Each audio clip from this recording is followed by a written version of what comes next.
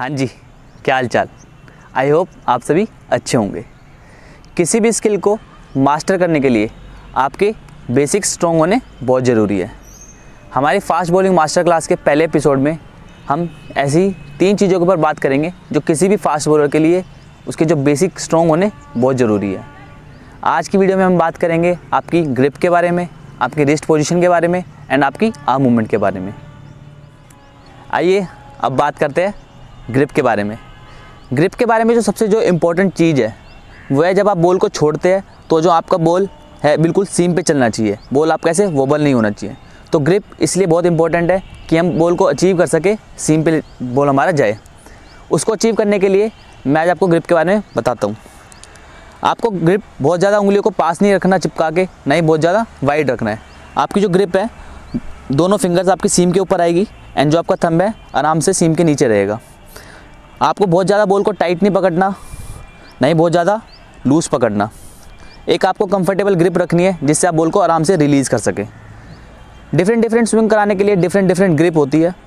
वो मैं आपको आने वाली वीडियोस में ज़रूर बताऊँगा, लेकिन आज मैं आपको एक बेसिक ग्रिप बता रहा हूँ। तो आपको जो चीज़ ध्यान रखनी है, वो है आपकी जो दोनों फिंगर्स है, हल्का उसमें गैप रहे, दोनों सीम के ऊपर रहे, साथ ही आपका थम नीचे रहेगा एंड बॉल को बहुत ना टाइट पकड़े, ना बहुत ज़्यादा स्लो पकड़े। एक कंफर्टेबल ग्रिप रहे, जिससे आप आराम से बॉल को रिलीज़ कर सके।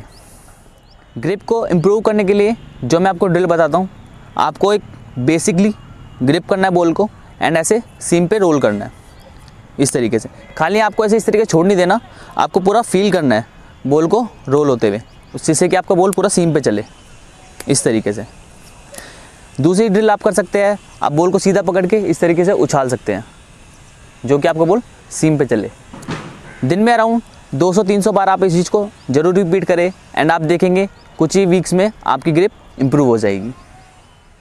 इसके बाद अब बात करते हैं हम हमारे रिस्ट के बारे में।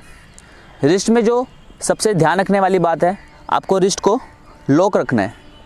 जब आप बॉल छोड़ेंगे तो आपकी रिस्ट ऐसे लूज़ नहीं होनी चाहिए, आपकी रिस्ट यहाँ पे पूरी फर्म एंड लॉक रहनी चाहिए। अगर मैं आपको बताऊँ, जब आप अपने एक्शन में आएँगे एंड जब आप रिलीजिंग पॉइंट पे आएँगे तो आपका रिस्ट यहाँ पे पूरा ऐसे लॉक होना चाहिए। ऐसे आपका यहाँ लूज़ नहीं होना चाहिए। आपका यहाँ पे पूरा लॉक रहेगा एंड यहाँ से आप इसको स्नैप करते हुए आप एक सामने मोमेंटम देते हुए हिट करेंगे इस तरीके से। ये।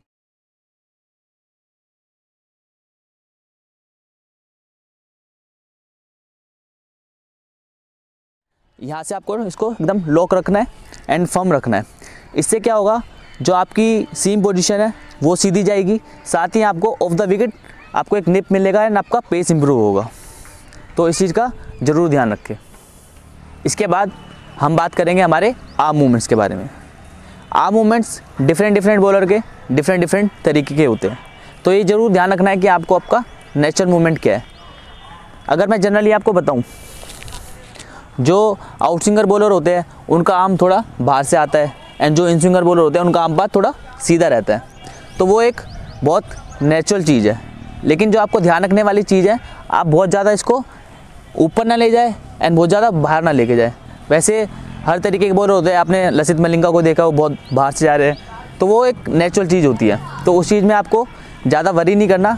बस आपको ध्यान रखने वाली बात है, जब आपका आम ऊपर जाए तो आप पूरा एक्सटेंड होना चाहिए। आपका जो बॉलिंग आम आए, पूरा आपका स्ट्रेट एक्सटेंड करेगा एंड ऊपर जाएगा, इस तरीके से। जब आप at the point of delivery आएँगे तो आपको एक बीच में रहे, ना बहुत ज़्यादा इधर आए, ना बहुत ज़्यादा सीधा रहे। एक मीडियम आपको 11 ओ के आसपास रखना है एंड यहाँ से आपको रिलीज़ करना है।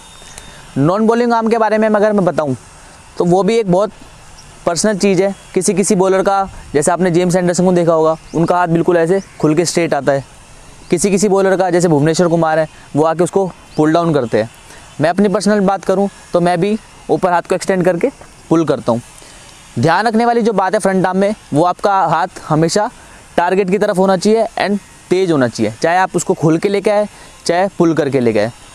आपको जो ध्यान रखना है, वो आपका टारगेट की तरफ़ रहे एंड तेज है तो जब भी आप बॉलिंग करेंगे, आप इन तीन चीज़ों का ज़रूर ध्यान रखें। आपकी ग्रिप आपकी रिस्ट पोजीशन साथ में आपकी आर्म मूवमेंट अगली वीडियो में मैं आपसे बात करूँगा टाइप्स ऑफ़ बॉलिंग एक्शन के बारे में। कितने कितने तरीके के बॉलिंग एक्शन होते हैं एंड कैसे कैसे आप उसको इम्प्रूव कर सकते हैं। उस वीडियो को देखने के लिए आप चैनल को ज़रूर सब्सक्राइब करें एंड बेल आइकन दबाना ना भूलें।